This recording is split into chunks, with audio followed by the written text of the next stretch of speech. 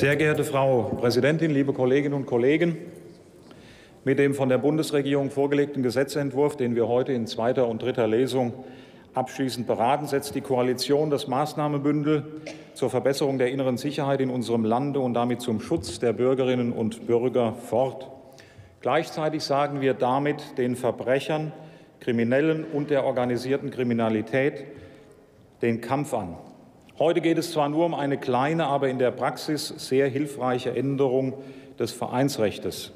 Nur zwei Vorschriften wollen wir ändern, und wir schaffen keine Lex Rocker oder keine Lex Specialis Rocker.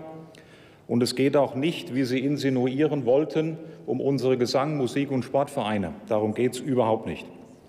Die zwei Vorschriften, die wir ändern wollen, sie richten sich gegen alle, die unter dem Schutzmantel des Vereinsrechts schwerste Verbrechen begehen und die innere Sicherheit und Ordnung gefährden.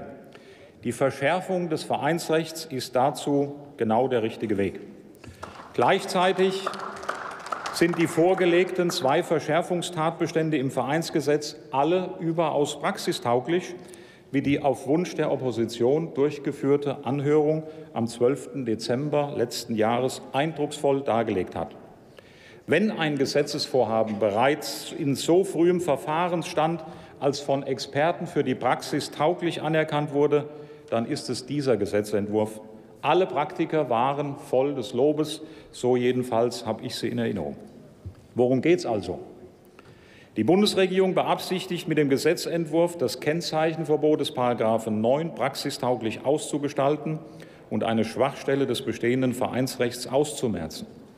Mit der Streichung des subjektiven Merkmals des Teilens der Zielrichtung des verbotenen Vereins und der zusätzlich eingeführten Erläuterung, wann ein Kennzeichen in im Wesentlichen gleicher Form verwendet wird, wird das bestehende Kennzeichenverbot nunmehr praxistauglich ausgestaltet, da die Polizei in Bund und Ländern künftig allein anhand objektiver Kriterien feststellen kann, ob ein Verein ein Kennzeichen in wesentlich gleicher Form verwendet wie der verbotene Verein.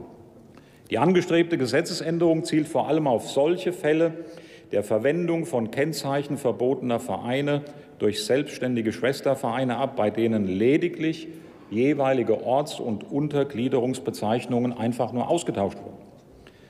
Ein Vereinsverbot kann ausgesprochen werden, wenn eine schwerwiegende Gefährdung der Allgemeinheit oder Straftaten nachgewiesen werden.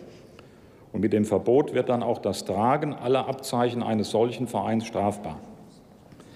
Wenn das Verbot allerdings eine Ortsgruppe einer Dachorganisation betrifft, dann gilt das nicht gleichsam für die Gesamtorganisation. Und deshalb durfte man bis jetzt ungestraft zum Beispiel Kutten, Fahnen und Uniformstücke und andere Abzeichen, die auf strafbare Aktivitäten oder verfassungsfeindliche Bestrebungen hindeuten, weiter verwenden.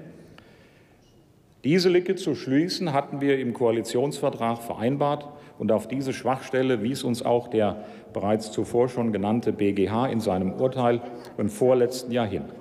Damals ging es um das Tragen von Rockerkutten, die verschiedene Ortsbezeichnungen, aber das gleiche Kennzeichen hatten. Und diese Lücke schließt der heute zu verabschiedende Gesetzentwurf. Richtig ist an der Kritik, dass die Gesetzesinitiative kein Allheilmittel ist und wir auch nicht alles verhindern können. Aber ich sage, es ist ein vernünftiger und praxistauglicher Beitrag zur Bekämpfung von Schwerverbrechern und von Kriminalität in unserem Lande. Deshalb streite ich für diesen Entwurf und deshalb werden wir ihn heute auch mit den Stimmen unserer Koalition in Kraft setzen. Künftig stellt Paragraph 9 des Vereinsgesetzes klare und objektive Kriterien auf, mithilfe derer unsere Polizei feststellen kann, ob ein im Wesentlichen gleiches Kennzeichen verwendet wird, was bereits verboten ist. Warum wollen wir diese Verschärfung? Wir wissen, dass Rockergruppen, darunter die sogenannten bereits hier schon erwähnten Outlaw Motorcycle Gangs, die Organisationsfreiheit unseres Vereinsrechts ausnutzen. Sie segeln unter der Tarnung und dem Schutz der Freiheit, sich zu versammeln und zusammenzuschließen. Sie nennen sich harmlos Motorradclub, fahren augenscheinlich mit ihren benzinbetriebenen Feuerstühlen brav über unsere Straßen, lassen sich den Wind freudig und das Näschen wehen, genießen die Sonne bei der Ausfahrt, sind stolz darauf und tragen mit Überzeugung ihre zum Teil bedrohlich aussehenden uniformähnlichen Monturen. Klingt alles soweit harmlos? Und hört sich echt gut an.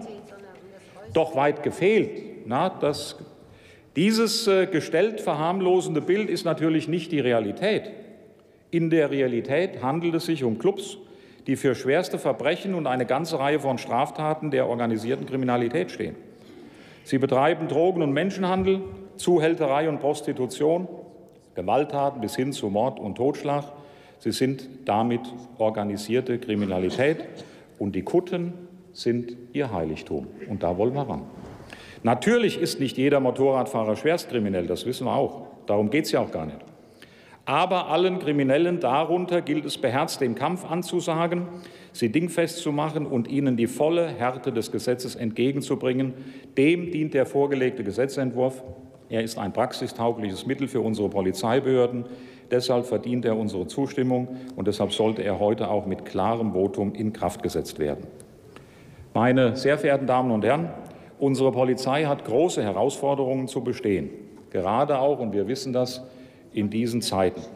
Geben wir ihnen die nötige Unterstützung, die brauchen sie, und das Gesetz hilft ihnen dabei, und deshalb werden wir es auch heute auf den Weg bringen. Dankeschön.